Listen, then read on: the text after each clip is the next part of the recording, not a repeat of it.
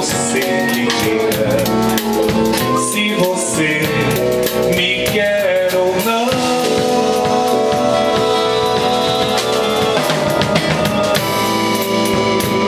Diga que você me adora, que você lamenta e chora a nossa separação.